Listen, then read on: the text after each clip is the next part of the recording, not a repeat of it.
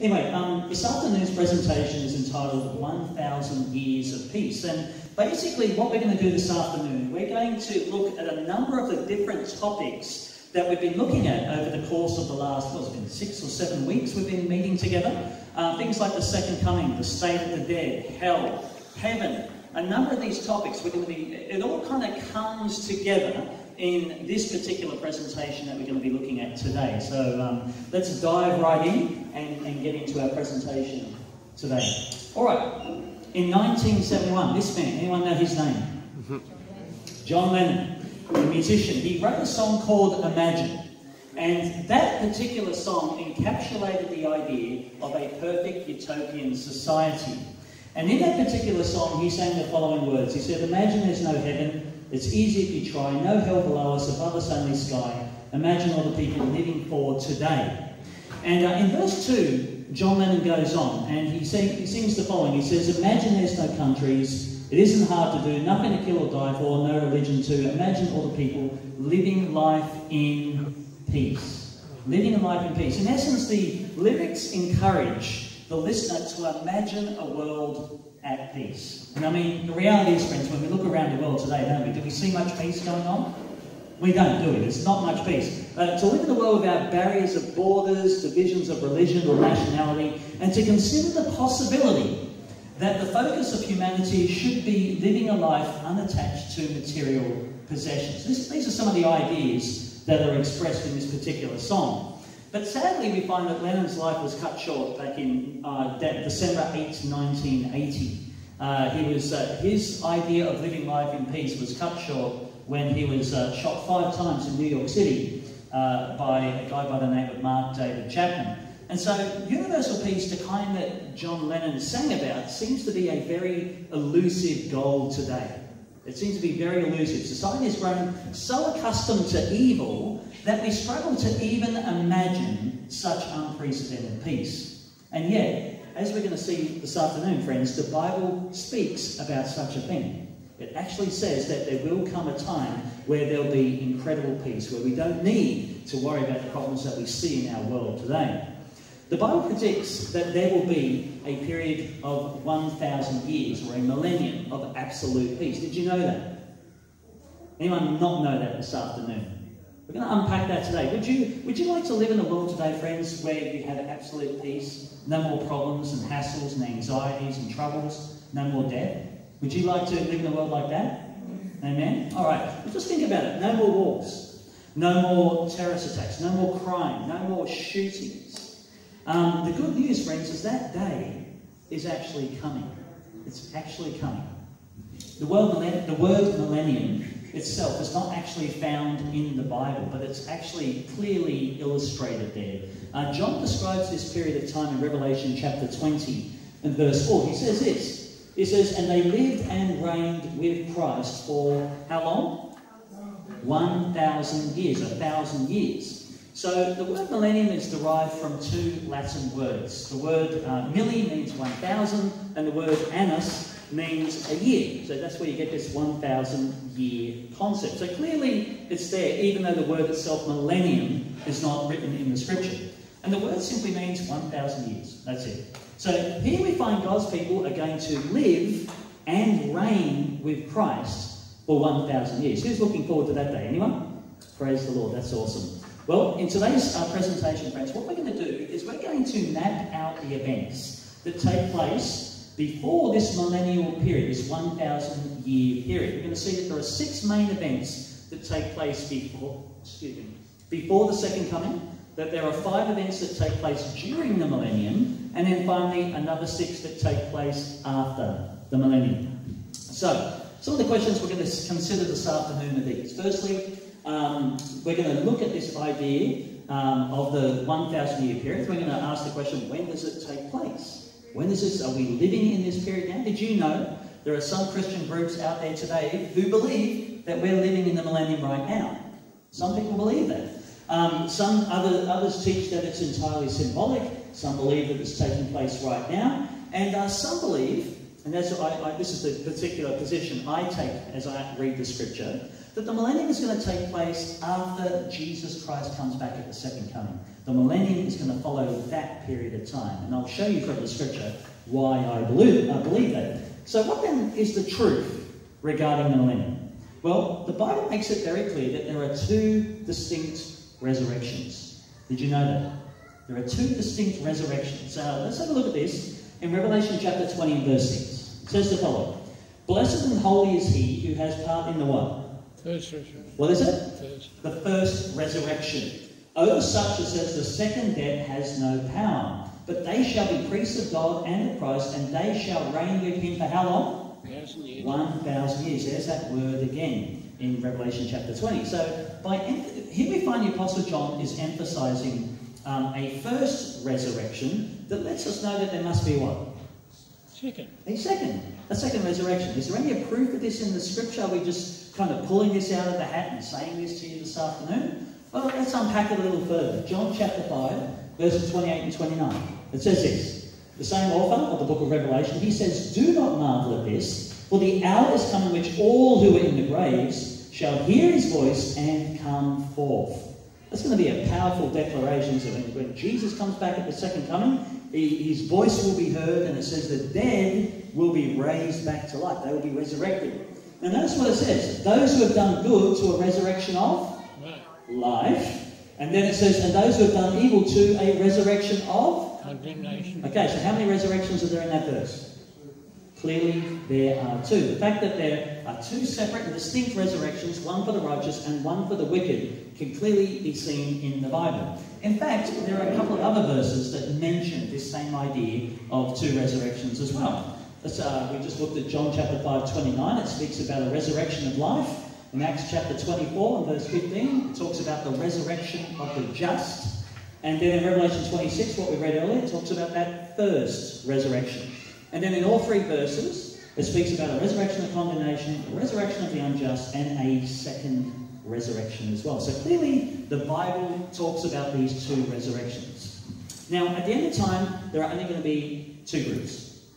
Two groups. That There's going to be the saved and the unsaved, the righteous and the wicked, the pardoned and the punished, the saved and the lost. And there's going to be no middle ground.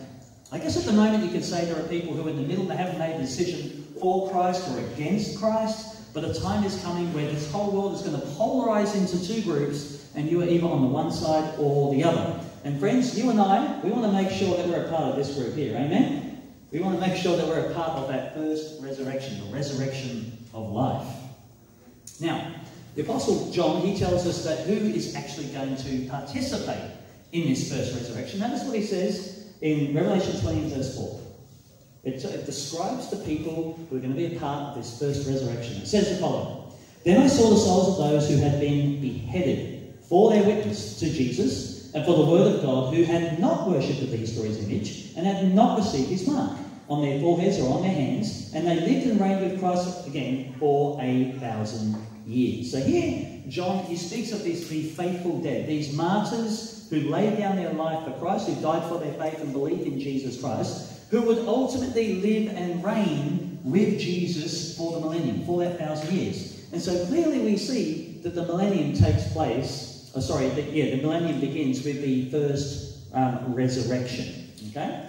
Now the next verse goes on to tell us who will not, um, sorry, who will participate in the second resurrection and when it will occur. In verse 5 it goes on, it talks about the other group, those who ultimately will not participate in the first resurrection.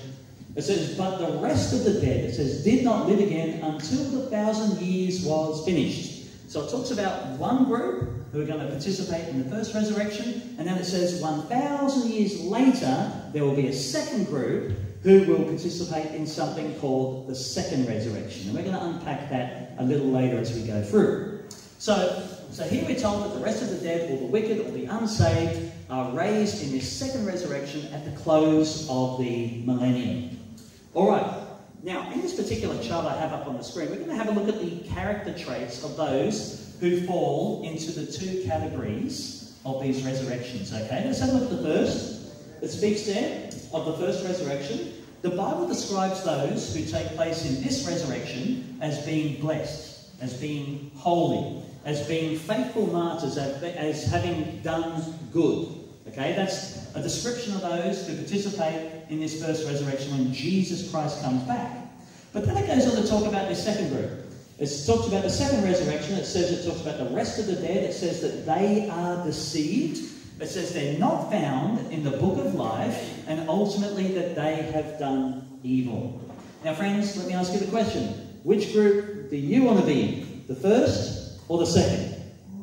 I think it's pretty clear, isn't it, from the scripture as we can see there. We want to be a part of that first group. Now, as I mentioned, the Bible makes it very clear that there will be two separate and distinct resurrections. Again, there's going to be the, um, the first resurrection, as you can see just, um, just there up on the screen, and there will be that second resurrection. And the 1,000 years separates those two events.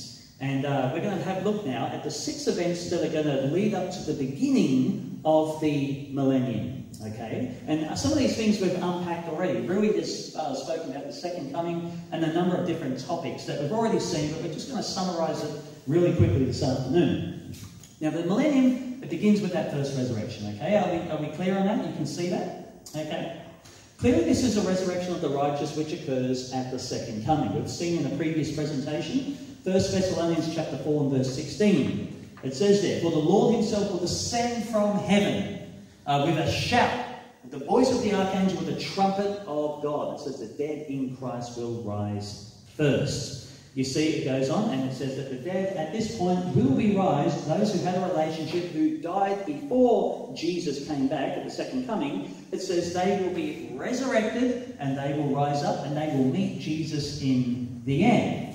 But it goes on in verse 17. It says, Then we who are alive and remain, it says, we shall be caught up to meet Jesus in the air, um, together with them in the clouds, to meet the Lord in the air, and thus we shall always be with the Lord. So those who are faithful to Christ and who are alive on the earth at this time, it says, will be caught up to meet Jesus in the air as well. Okay? So the saints of all ages who are described as being holy and blessed, in that verse we looked at um, earlier, in Revelation 20 and verse 6, it says they will participate in that first resurrection. You know, there's a story of a, of a grave of a lady over in Hanover in Germany. And um, she didn't believe in the resurrection. In fact, so much so that she put in her will that when she died, that they were to get two massive um, slabs of granite. They were to place them on top of her, of her grave, just in case, if the resurrection was true, that there would be no way on earth that she would able to be resurrected from, the, uh, from her grave, from her tomb. And um, in, in her, um, in her uh, uh, will, um, it, uh, it was said to be made so secure that if there was this resurrection, she would not come out, no matter what. No matter what side, first or second resurrection, she would come through. And on the marker where inscribed the words, it says, The burial place, this burial place, must never be open. Anyway, in time, what happened? A little seed that was underneath that granite slab began to grow. It began to grow. And uh, as it grew, it slowly pushed its way between those two granite stones, ultimately, and it became a large trunk that inevitably ripped the two granite stones apart, and, and the steel clasps and the sockets that it was connected to to try and keep this thing on top of this grave. And uh, that tiny seed had become a tree that pushed aside both of those stones on top of her, um, of her grave. And the dynamic life force contained in that little seed, friends, is a faint reflection, a faint reflection of the tremendous power of God's creative word that someday will call back to life all of those who died in Him. I like that story, that's why I included that one in. Now, unfortunately, there's a sad side to this story as well, too. You see, the fate of those who neglect to accept Jesus Christ is also described in the Bible as well. We kind of looked at this a couple of weeks ago when I did a presentation on, on hell. We had a look at that particular topic. And uh, we saw in 2 Thessalonians chapter 2 and verse 8, it says the following, that describing this event when Jesus Christ comes back, it says, The Lord shall consume with the breath of his mouth and destroy with the brightness of his coming. You see, when Jesus comes back in the clouds, when he comes back, those who have chosen to live a life apart from him ultimately will be destroyed by his brightness and by his purity and by the purity of his coming. And you see, sin cannot abide in the presence of a holy God. The, two just don't mix together, unfortunately. And, and well, unfortunately, it just doesn't, it doesn't mix. That's simple as that. The, the two simply cannot coexist one with another. And so at this time, it says the wicked will ultimately be destroyed and, and will receive the wages of sin, which we're told in Romans chapter 6 and verse 23, being death. Ultimately, they receive their wages. And notice how the wicked are going to react when Jesus returns. It says in Revelation chapter 6 and verse 15, it says, And the kings of the earth the great men, the rich men, the commanders, the mighty men, every slave and every free man, what did they do? It says they hid themselves in the caves and in the rocks of the mountains. And it goes on, and it says, and it says, and they say to the mountains and to the rocks, Fall on us and hide us from the face of him who sits on the throne and from the wrath of the Lamb, for the great day of his wrath has come, and who is able to stand? So when the wicked see Jesus coming back in the clouds of glory, friends, it says they're going to wail and they're going to mourn. A deep sense of guilt will fill them with this terror, and they cry for the very rocks and the mountains to fall upon them to hide them from the face of Jesus when he returns. And clearly, they are not going to participate in this particular resurrection, but we will have a look at them a little later. So, when Jesus returns at the second coming, friends, there are only going to be four groups of people at this time. You can see it there on the screen. You're going to have the, be the, you're going to see the righteous, who are living on the earth at this particular time. You're going to have the righteous who are in the grave, who will be ultimately resurrected. You'll have the wicked who are living on the earth at that time, and then you'll have the wicked who are in the grave as well. And so we see, when you look at, uh, read the book of Revelation, John describes the return of Jesus in this cataclysmic event. It's just, it's going to really um, wreak havoc upon the earth when Jesus Christ returns. In fact, let's have a look at Revelation verse 16, verses 18, 20, and 21. It says the following. It says, There was a great earthquake. And it says, Such a mighty and great earthquake as has not occurred since men were on the, on the earth. Then it says, Every island fled away, and the mountains were not bound. It says, Great hail will fall from the heaven upon men, each hailstone about the weight of a talent. So here we've got a very descriptive um, picture as to what is going to take place upon the earth just before Jesus Christ comes back. And in fact, if you're wondering what's the weight of a talent, um, some commentaries they say it's basically the equivalent of 30 kilos. I mean, that is one big hailstone, isn't it? It's pretty a large piece of ice. And so we see that these events, as these events are, are just, you know, shredding the earth, um, the wicked, it's ultimately going to destroy the wicked. Okay, that they will be um, they will be dead at this point. Uh, they will, those who are not alive will obviously remain in the tomb at this time until after the 1,000 year period, and that they will participate in that second resurrection, which we'll get to in a moment. Now, I want you to notice how the prophet Jeremiah envisioned, he looked forward into the future and he saw basically the fate of the wicked at the second coming. Notice uh, what he wrote in Jeremiah chapter 25 and verse 33. He said this He said, And at that day, the slain of the Lord shall be from one end of the earth, he speaks, even to the other end of the earth. It says, They shall not be lamented, nor gathered, nor buried. They shall become refuse on the ground. And so we see that the destruction of the earth is going to be so complete that nobody is going to mourn over the dead and there are going to be no more funerals. Why? Simply because the righteous are caught up to meet Jesus in the air and the wicked ultimately will be destroyed when Jesus returns. The dead will simply become dust and ashes upon the earth. You see, this world, which has well over six or seven million or billion people, uh, will, will become completely depopulated. It's hard to imagine, but ultimately that is what's going to happen. And Isaiah, again, God showed this man, this prophet, how this was going to happen. Notice what it says in Isaiah 24, verses 1 to 3. It says, Behold, the Lord maketh the earth what? What's the next word? Empty. Makes the earth empty. The land shall be utterly emptied and utterly spoiled, for the Lord hath spoken this word. You see, there's not going to be one single human being, friends, left remaining upon the earth after the second coming. There's a reason for that. We can unpack that in a moment. Now, particular churches around the world today, they teach this idea of a second chance. That when Jesus Christ comes back, that uh, some will be taken, but some will be left behind. They'll have an opportunity to get their life right with God before He comes back. Okay? And uh, this idea of the second chance theory or the secret rapture um, is, is clearly not something that is taught in the Bible. And I think Rui unpacked that a little in, I think, the second or the third presentation that he had. But again, the Bible is very clear. When Jesus returns, the wicked or the unsaved will be destroyed, and there will be no further opportunities to repent of our sin. Every person will have had every opportunity, friends, to accept that free gift of salvation before Jesus Christ returns. And that is why he is pleading. His Holy Spirit is working overtime today to make sure that people are giving their hearts, surrendering their lives to Him in order that they may be ready before Jesus Christ comes back at the second coming. Um, but their case will ultimately, talking about the wicked, their case will be closed just prior to the second coming. Notice what John says in Revelation chapter 22 and verse 11. He says the following He says, He who is unjust, let him be unjust still. He who is filthy, let him be filthy still. He who is righteous, let him be righteous still. And he who is holy, let him be holy still. And behold, I am coming quickly. My reward is with me to give to everyone according to his work. So you can see a work of judgment has taken place to decide who is fit to live with God throughout eternity and ultimately who will not participate in that. Now, in the religious world today, a major difference of opinion revolves around this question Where exactly is Jesus? Where is he right now? Where does Jesus actually spend the millennium? Is it upon the earth or is it up in heaven? Okay?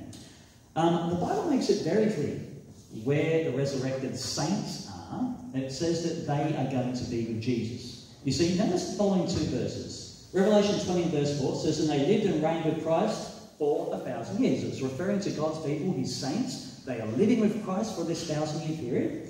And then it says in Revelation 20 verse 6, it says, They shall be priests of God and of Christ and shall reign with him a thousand years. So the Bible makes it abundantly clear that you and I um, are going to live with Christ for this 1,000 year period. But the question is, where? Are we going to be here on the earth or up in heaven? Um, where is Jesus at this time? Well, in Revelation chapter 20 itself, the verse that we're basically looking at today, we're not specifically told. Okay, the common teaching is that you'll hear that uh, Jesus' millennial reign will take place upon the earth. A lot of people believe that, that ultimately God's people are going to live on the earth during this 1,000 year period. But this is only an assumption.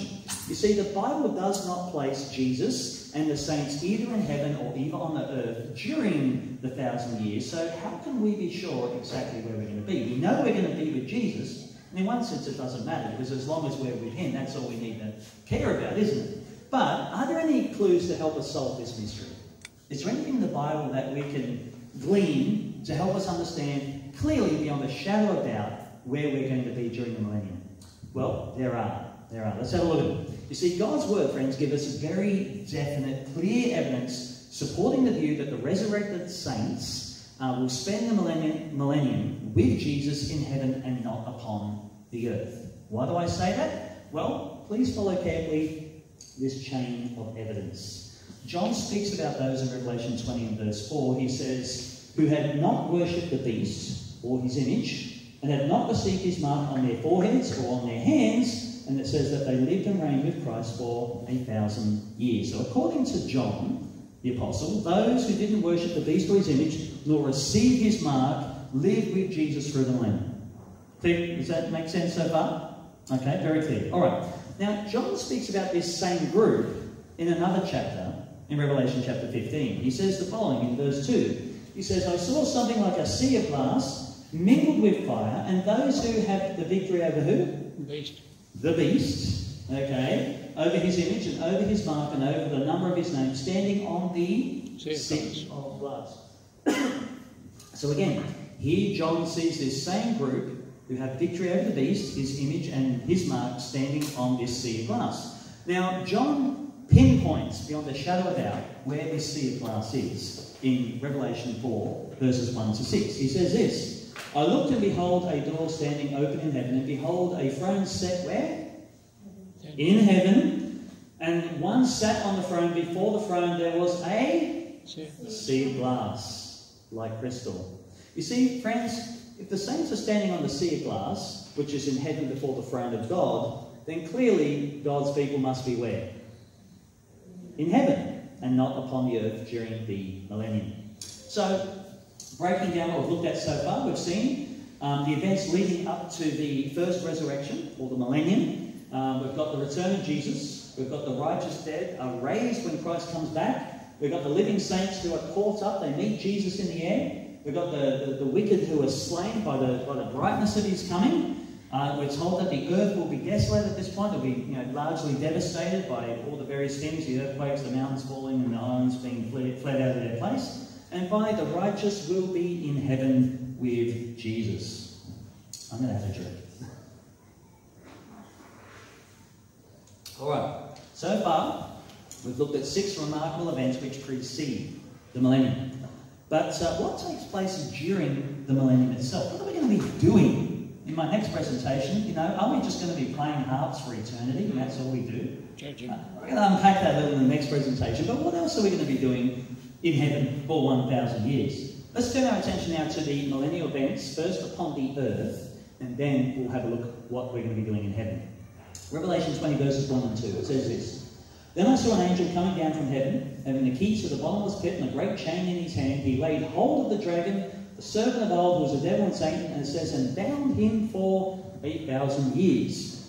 Goes on, verse 3. And he, that is the angel, cast him into the bottomless pit and shut him up, and set a seal on him so that he should deceive the nations no more till the thousand years were finished. But after these things, he must be loosed a little while.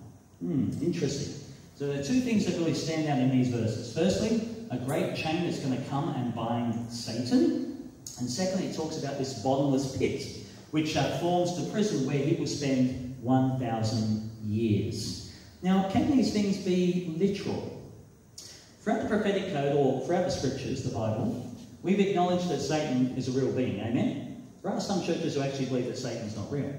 But Jesus himself, he said in Luke chapter 10 and verse 18, he said, I saw Satan falling like lightning from heaven. This once dazzling um, angel called Lucifer, who made himself into a devil called Satan, is clearly a supernatural being. Okay, he's from heaven, ultimately came to this earth. The simple reason tells us that no literal chain or pit or prison could secure such a supernatural being. In fact, the scripture tells us the exact same thing. Um, you may recall a, a, one of the stories in the Bible, one of the experiences that Jesus had as he was sailing across the Sea of Galilee. Notice what it says here in Mark chapter 5. It gives us a bit of an insight here.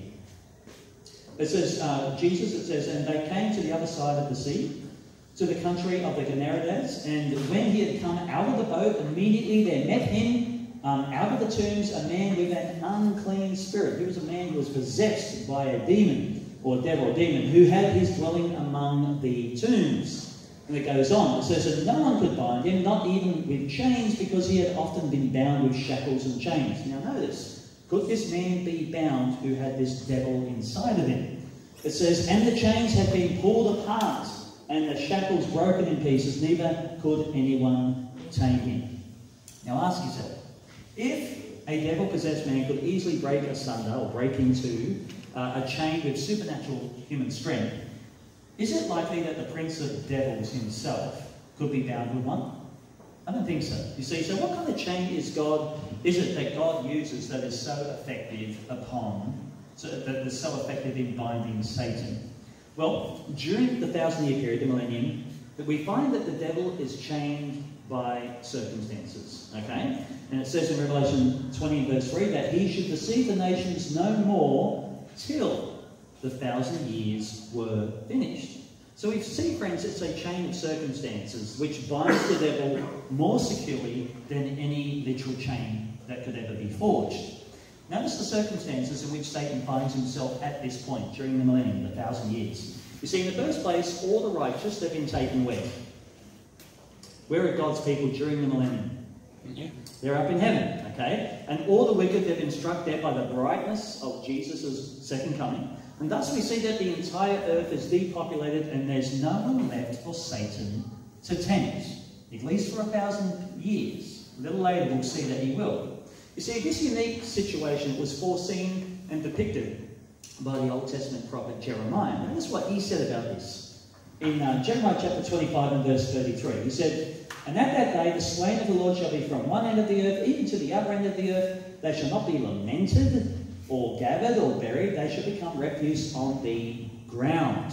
You see, usually when people die, they're lamented, aren't they, by survivors. You know, they usually have a, a funeral service, you, you, you, you have that to, to remember the dead and so forth. They're gathered, they, they died, they're buried out of respect as well as for sanitary reasons. But inspiration tells us that none of these things are going to take place after the second coming. Why? Simply because there are no survivors upon the earth in order to perform these rites. They are either in heaven or they themselves will be on the earth. Now, to illustrate this point, imagine, you know, for a moment a man who's in deep trouble and he thinks of someone that he can get on the phone and call for some help, maybe a friend in a position of influence. And but he goes to his friend and his friend replies to him on the phone. he gets on the phone, he says, um, and he, he, says, I need some help. And his, his friend replies to him by saying, Look, I'd like to help. I really would, but with my circumstances the way they are, my hands are tied and there is nothing that I can do. Now, are we to assume that that man is literally that his hands are tied at that very moment? Is that what that phrase means? Does it means that he's literally tied up and he, he can't get out of it in order to help his friend? No, it's just a figure of speech, isn't it, that we use. He's tied up, he's not able to assist his friend at that particular point of time. So sometimes the intangible circumstances can be more restricting than the literal bonds themselves. Now, in a similar way, Satan is securely bound, uh, or chained, if you will, by circumstances beyond his control. And again, the prophet Isaiah, he foresaw this in his book, the book of Isaiah, chapter 24 verse 22. King James Version says this it says, They shall be gathered together as prisoners are gathered in the pit. They shall be shut up in prison, and after many days they shall be visited. Okay, so it says something. There will come a time where he will be released, but at the moment there is nothing that he can do. Now, what about this idea of the bottomless pit? Uh, in Revelation 20, verse 3 and 4, it says the following And he was cast into the bottomless pit and shut him up and set a seal on him so that he should deceive the nations no more till the thousand years were finished. Now, is John describing here maybe somewhere upon the earth this giant chasm of a hole with literally no bottom? Is, is that what John is describing here? Is there some hole in the earth where Satan and his angels are all going to be thrown into? Well, the Bible interprets itself, and that's why we need to allow the Scripture to interpret Scripture. Not just have my some fanciful ideas from man, we need to allow the Scripture to interpret itself. And the Greek word there for bottomless pit is the word abyssos, all right? And it's where we get our English word abyss, all right? That same word. Now, interesting, that same word is used in Genesis chapter 1 and verse 2, where it says that the earth was without form and void. It's the same word, abyssos, okay? The word simply means a, a, dark wasteland, a state of chaos, a desolate region. So it's not a literal hole somewhere on the, on the planet on, on the face of the planet that the devil and his angels are thrown into. It's just talking about the state of the earth at this particular point. And again, it's amazing how the scripture speaks about these things. In the Old Testament, Jeremiah, again, he was shown these things that would take place in the future. He says, I beheld the earth, and lo, it was without form and void. It was an abyssos, that same word. And the heavens, and they had no light. I beheld the mountains, and lo, they trembled, and all the hills moved lightly. I beheld, and lo, there was no man, and all the birds of the heavens were fled. I beheld, and lo, the fruitful place was a wilderness. And verse 26 says, All the cities, therefore, were broken down at the presence of the Lord by his fierce anger. For thus hath the Lord said, The whole land shall be desolate, yet I will not make a full end. Now, this vision that was given to the prophet Jeremiah was in 620 BC. And what period of Earth's history was he seeing when he wrote, Lo, there is no man? What period? Is it referring back to creation? Or is it referring back to the events that we're looking at during the millennium, which is still future? Um, some believe it's, it, the, prophet is referring back to the book of Genesis, the creation of this earth. But um, there are a couple of things there in the verse that clearly make it clear beyond a shadow of doubt that it's not. Let me show you. The first of these, is it referring to the creation event or is it referring to the millennium as a future event? You see, um, um, sorry, it can't be the creation event. Well, firstly, there was no man before God formed Adam, the first man, okay? So no man upon the earth. So yes, you could say it refers to creation. Jeremiah said that the earth was without form and void, which is also true of that time during creation. Although these two clues fit the, the, the puzzle or the period of creation, we immediately realise that God placed a third and fourth clue in the verse that, that clearly shows that it doesn't fit. Okay, the third one, Jeremiah says the following. He says, The Lord felt um, his fierce anger and unreasonable and ungodly attitude at the beginning of the creation week. God wasn't angry. He says that after his creation, he said everything was good, didn't he? It was very good. We, we read nothing about God being angry during the creation event. And then finally, um, Jeremiah, he writes about all the cities, how they were broken down. Well, there wasn't even a city built when God created this earth. That came later on with the, with the creation of Babylon and that. So this vision couldn't possibly be the creation week. Okay, for man didn't build cities before he was created. So the only other time in human history, I think, in which Jeremiah is referring to here, where there is no man upon the face of the earth, is clearly referring to the millennial period, this 1,000 year period when the earth is desolate and empty and there is no man. So at the second coming, God is going to reduce this wicked world back to its original state of chaos. In this state of absolute devastation and darkness, the earth itself is going to become a bottomless pit and abyssos, where Satan and his demon cohorts will be helplessly confined during this period of 1,000 years. And this time of solitary confinement will force the devil and his angels to consider the tragic events of their sin and the devastation that they have brought upon the earth. Now let's take a look and see. That's referring to what's happening upon the earth at this point. What's taking place in heaven with God's people? What are we doing during this 1,000 year period? Judging, judging. Hmm. Okay, Revelation 20, verse 4 tells us. It says, And I saw thrones, and they that sat on them, and it says, and judgment was committed to them. Now, this verse gives us an astounding insight into the kind of God that we serve. You see, it tells us something about the kind of God that we're dealing with here, how he chooses to govern, and how he intends to bring complete resolve to the problem of evil and sin. You see, God does absolutely something remarkable here. And I want you to notice, firstly, what he does for God's people who are going to be in heaven during this 1,000 year period. He invites them, he invites the redeemed to judge his decisions, to consider his, his decisions and the judgment. Secondly, to evaluate them for themselves, the history of the great controversy between good and evil. And thirdly, to assess sorry, all the factors that have contributed to each person's destiny. The point here, friends, is this God is open, He's transparent, and He involves each one of us in full disclosure of how He is dealing with the problem of sin. He's not pulling the wool over our eyes, hiding stuff from us. He wants to see why He's doing all the decisions that He has made in the judgment and why He's done, why that is the, that is the case. He's not hiding anything from us at all. You see, both Jesus and the Apostle Paul spoke about God's involvement in the judgment process. And um, notice what Jesus said to his disciples in Luke chapter 22 and verse 30. Um, he said the following He said, You may eat and drink at my table in my kingdom and sit on thrones judging the 12 tribes of Israel. And then the Apostle Paul, he asked this question in 1 Corinthians chapter 6 and verse 2 and 3. He says, Do you not know that the saints will judge the world? Do you not know that we shall judge angels? See, friends, that's you and me in, during, in heaven during the millennium.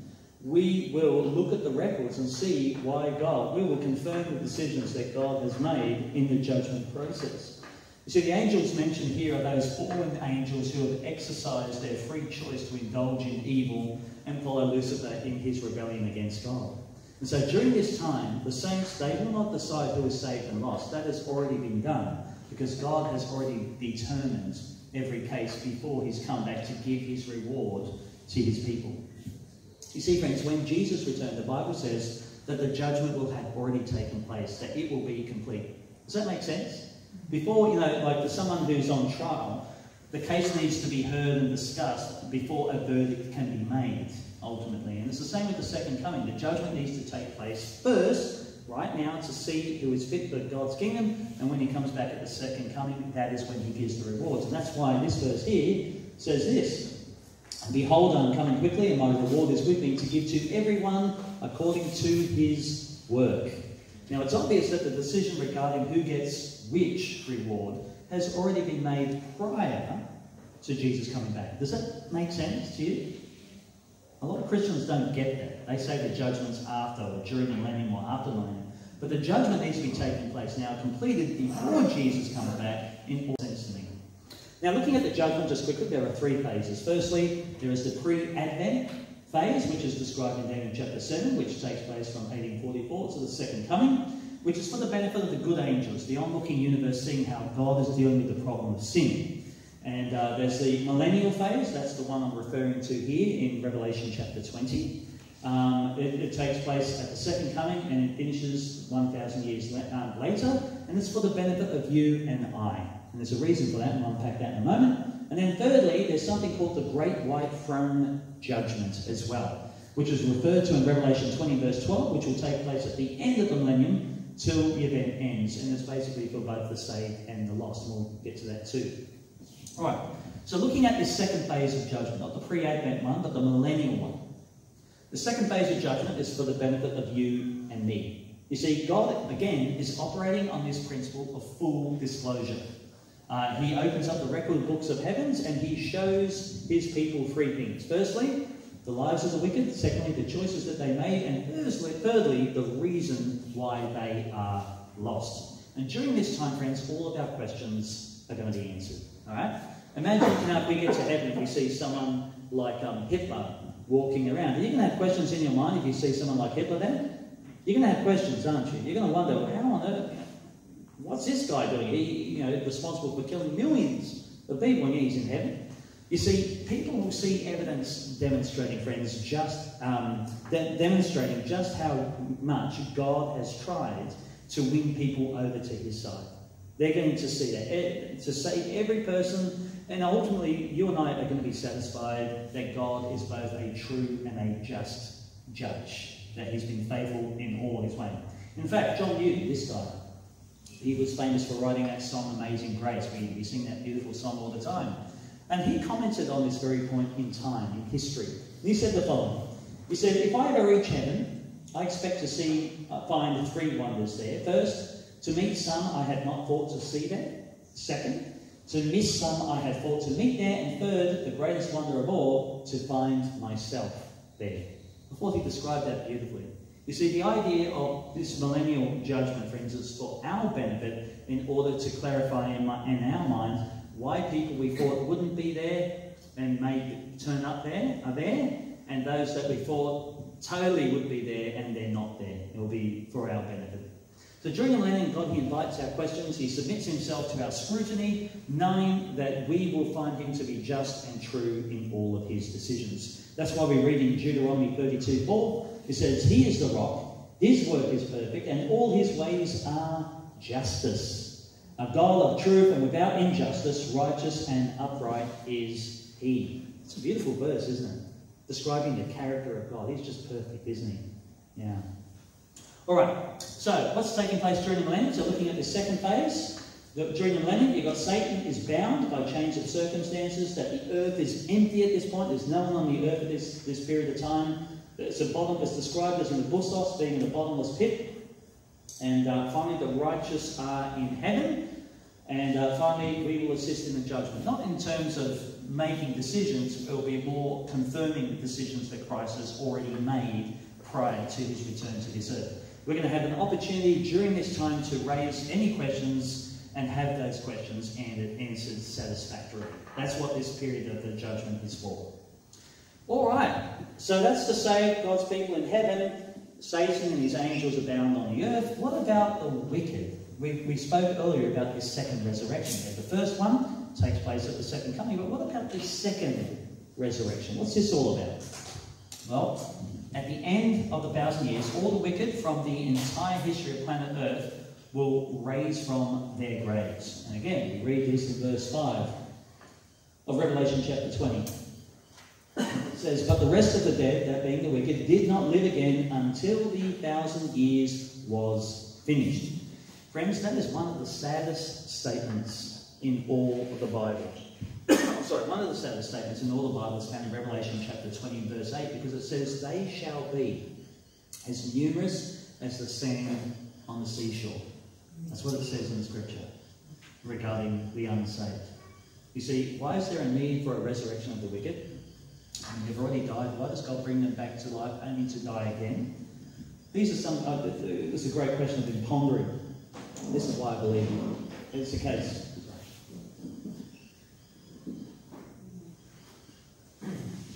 Firstly, it reveals that their character hasn't changed. Even if they had another thousand years to live, their, their, the motives, the character, the heart, nothing has changed. Secondly, it exposes the character of those who seemingly lived a good life yet never took a stand for Jesus.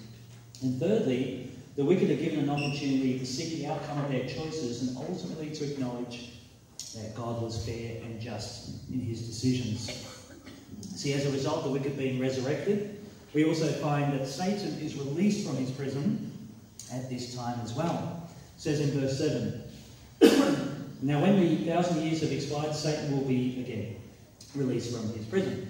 At this point, the devil will be unleashed, enabling him to once more do his treacherous work. Because these people have come back to life, been resurrected, that being the wicked, he has an opportunity to deceive them once again.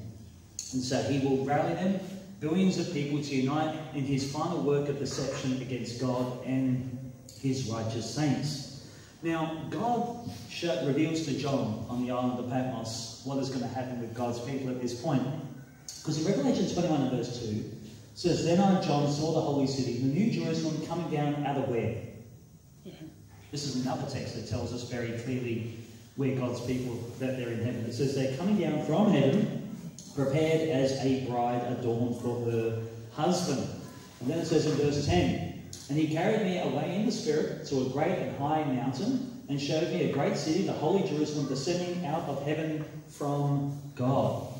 So at the close of that 1,000 year period, friends, God's people have been in heaven, you and I, have been in heaven for a thousand years. It says the holy city, the New Jerusalem, is going to descend out of heaven. God's people will be inside of it. And it says this is the time when Jesus is going to rule from Jerusalem. But it's not the old city of Jerusalem where he's going to rule from. This is going, we're going to find he's going to rule from the new Jerusalem. The question is, where's this particular city going to land? This, this new Jerusalem, where's it coming? Is it going to land here in the Strait or somewhere else? Well, we're told again in the scripture, you don't have to guess. We find the prophet Zechariah, he actually predicts the very location where the New Jerusalem is going to land. It's there in chapter 14 and verse 4 of his book. He says this, and in the days, says his feet, okay, will stand on the Mount of Olives, which faces east, uh, Jerusalem on the east, and the Mount of Olives shall be split in two from east to west, making a very large valley. Half of the mountain shall move toward the north, and half of it toward the south. Now you may recall that at Christ's second coming, is Jesus is speaking to touch the earth at the second coming when he comes back? No, it says that we're going to be caught up, we meet Jesus in the air. But here's Zechariah, the prophet, he predicted that it would descend from heaven onto this very mountain, the Mount of Olives. And the Lord will flatten the hill to make a great plain in order for the city to land upon. Notice again, the saints inside the city will return to this earth with God. Okay, notice again, Zechariah 14, 5 and 9. Says, Thus the Lord my God will come, and all the saints with you. You're going to come from heaven in the new Jerusalem back to the earth. And it says, And the Lord shall be king over all the earth. So on this divinely excavated plain or valley, the holy city will come to rest, completely covering the old side of the new Jerusalem, or the old Jerusalem, I should say. Well, the heavenly city is absolutely larger. The measurements of the city are described in Revelation chapter 21. It says this. It says, The city is laid out as a square, its length is as great as its breadth, and he measured the city in the width of reed, 12,000 furlongs. Its length, breadth, and height are equal. And that picture there, you see on the screen, gives you a bit of an idea of the size of the New Jerusalem itself. You see, when you convert a furlong, it basically comes to 2,220 kilometres on each side. So that's the length, the breadth, as well as the height. And basically, it's forming a cube. I mean, that's how John saw it in his vision. I'm sure it's going to be something far more glorious, but they're the, they're the, that, that's how he described his vision that he was shown by God. And uh, the main reason I believe that John is that God is very specific in giving John the dimensions of this particular city is he wants to make it clear to everyone that there is enough room for all of us. Isn't that good news? That all there's enough room for each and every person on this planet who wants to accept Jesus Christ as their Lord and Saviour. And that's why I think we have that additional detail in the Scripture. Now, what will Satan influence the wicked to do when they're raised from the dead? Well, Revelation 20, verses 7 and 8, it says, Now when the thousand years have expired, Satan will be released from prison and he will go out to deceive the nations. That's referring to the wicked, those who are not inside the New Jerusalem. It says, uh, which are in the four corners of the earth, Gog and Magog, to gather them together to the battle, uh, to battle, uh, whose number is as the sand of the sea. So even after the 1,000 years, friends, the devil has still not changed. He's had 1,000 years to consider all the horrible things that he has done. But when the, the wicked are resurrected once again, his character hasn't changed. He's going around deceiving the nations, getting them ready in order to take on the city. And literally, billions of people are going to join the devil in one last ditch effort to try and gain control of that glorious city. It's going to be his last stand, which ultimately will um, result in his final doom. Now, realizing that they're shut outside of the New Jerusalem, the wicked are going to organize an attack to conquer it. That's why we read in verse 9. It says, They went up on the breadth of the earth and surrounded the camp of the saints and the beloved city. So here again, Satan will deceive people into believing that he was unjustly deposed from heaven and that they together can capture this city and that they can take control. So why are they so intent on getting inside? I mean, why don't they just go to the other side of the planet and carry on over there? Well, I think there's a, there's a reason that we can, we can glean from the scripture regarding this. You see, one possible reason why they're trying to get inside the city is because we're told there in Revelation 22 that there is a very important tree, very important tree inside the city. It says this, Revelation 22, it says, And he showed me a pure river of water of life, clear as crystal, proceeding from the throne of God and of the Lamb. In the middle of its street and on either side of the river was a tree of life, and the leaves for the tree were for the healing of the nations. Hmm, interesting. Why is that so significant? Well, if we go back to Genesis chapter 3, you may remember there, um, God um, said to Adam and Eve, He said, Behold, the man has become like one of us, to know good and evil. And now, lest he put out his hand and also take of the tree of life and eat, he will what? Live for how long? forever. His concern back in Genesis after they had committed sin is that if they have access to the tree of life, they can carry on living as sinners for all of eternity. And this is why I think Satan and the wicked are trying to get into the city, that they can have life forevermore too. Okay? Um, yes, as therefore ultimately the Lord sent him out of the Garden of Eden. So man, we know from Scripture, Rui did that presentation on the occult, we looked at the idea that man does not, and women, does not inherently possess immortality. It's a gift that we receive at the second coming of Jesus. Um, but the wicked do not have this gift. They will be resurrected for a short period of time, but they don't have the gift of immortality. And so the devil deceives the wicked into believing that if they can storm the city, get inside, eat the tree of life, that they will live and not die. But whatever the reason is, friends, the Bible makes it clear that they will, that that um, in death that they've experienced no change. Nothing has changed in their heart. And they come up from the grave um, actuated by the same desire to conquer that, um, that ruled them when they fell in the first place. And some time may pass as they lay their plans and they strategize as to how they're going to ultimately take the city by force. Um, and it's going to take the city. But if you read Revelation chapter 20 and very closely, the battle never actually takes place. It looks like they're, they're, they're gathering together, they're mar- Satan's marshalling this big army to save the city, but ultimately, the battle never takes place. You see, Satan leads the attack, the angels unite their forces, and this wicked militia.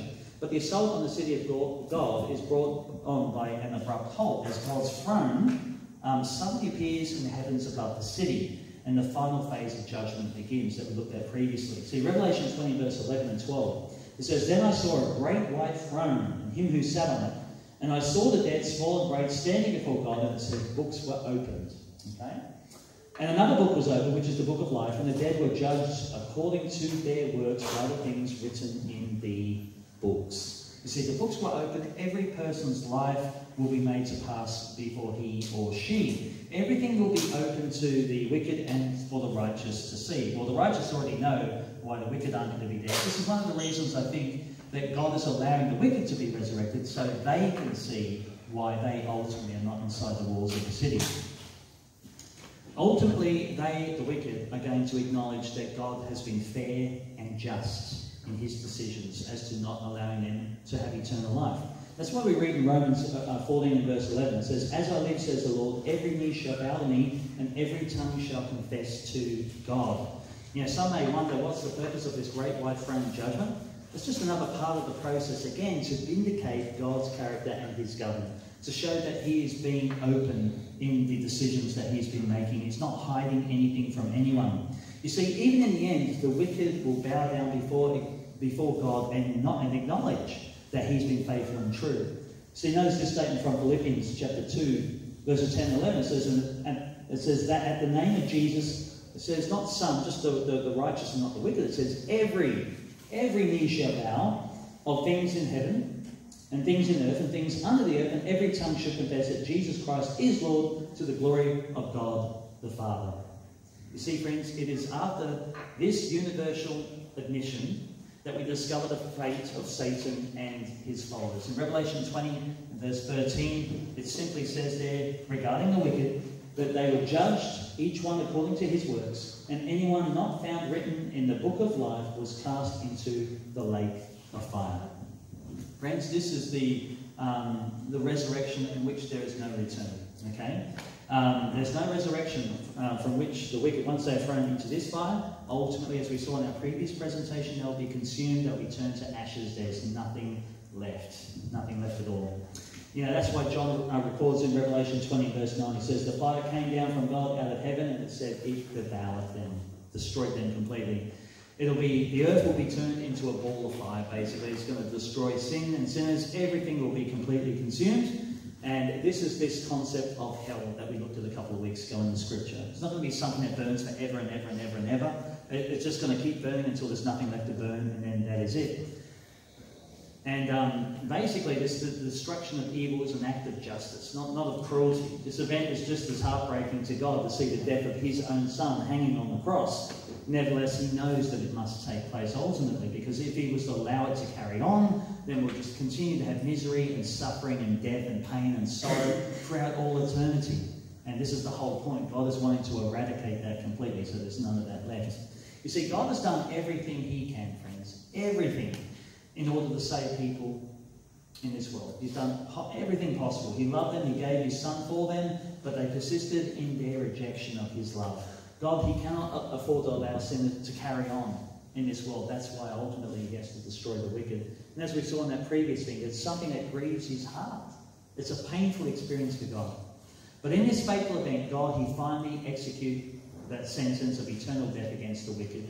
Notice again, the entire planet is going to become a molten mass it says in Malachi 4 1 and 3 For behold, the day is coming, burning like an oven, and all the proud, yes, all who do wickedly, will be, what does it say? What does it say?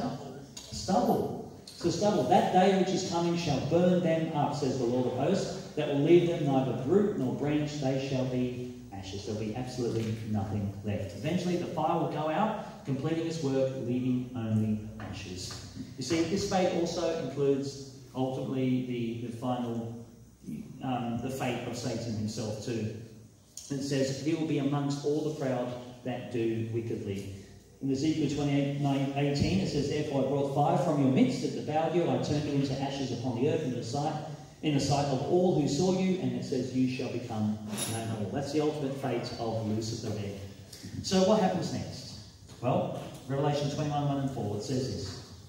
Now I saw a new heavens and a new earth, it says. For the first heaven and the first earth had passed away, and God wiped away every tear from their eyes. There shall be no more death, nor sorrow, nor crying. There shall be no more pain, for the former things have passed away. You see, after witnessing the tragedy of hellfire, Jesus is going to wipe away every tear from our eyes. God will ensure that this final, this sad final sin will never be remembered again. And all traces of sin will now be gone, and God's people will have an eternity of happiness in a brand new perfect earth. You looking forward to that day, friends? Amen. Praise God. You see, the paradise that Adam and Eve lost by sin will be restored to all of its full Edenic glory. Peace, joy, love, fellowship, happiness will rest upon God's people forever. That's why we read in Psalm 16, verse 11. It says, You will show me the path of life. In your presence, that's being in the presence of God, is fullness of joy. At your right hand are pleasures forevermore. Beautiful verse, isn't it? So, what events take place after the thousand years, friends? We've seen just briefly the unrighteous dead will be raised up, Satan will be loosed, Christ, the saints, and the city will descend from heaven. There will be that last, that great white throne judgment, the third judgment we saw. Satan's sin will be destroyed, and ultimately the earth will be cleansed, renewed, and made brand new. Friends, the Bible says that Jesus is preparing a place for you and me right now. Isn't that good news? That's why we read in John chapter 14, verses 2 and 3, it says, In my Father's house are many mansions, many mansions. If it were not so, I would have told you, I go to prepare a place for you. And if I go to prepare a place for you, I will come again and receive you to myself, that where I am, there you may be also. Is that your desire today, friends, to accept Jesus' invitation to be where he is? Jesus invites us to enter into that city where it's safe and to spend the millennium and eternity with him. And today, Jesus is knocking on the door of our hearts. And that's why he says in Revelation 3, verse 20, Behold, I stand at the door and knock, and if anyone hears my voice and opens the door, I will come into him and dine with him, and he with me. And what happens, friends, as a result of letting Jesus come into our house, or come into our heart? We read in Revelation 22, 14, Blessed are those who do his commands, that they may have right to the tree of life and may enter the gates into the city. Isn't that good news, friends? That's incredibly good news. When we let Jesus into our homes and into our hearts, he promises that he'll let us into his kingdom. Is that your desire today, friends, to be found inside the gates of the New Jerusalem?